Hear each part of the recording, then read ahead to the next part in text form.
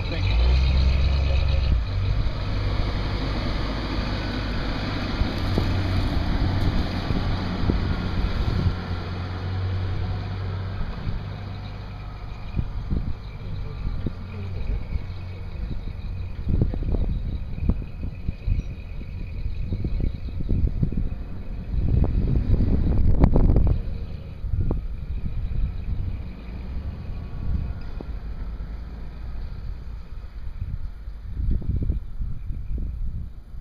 How to get down.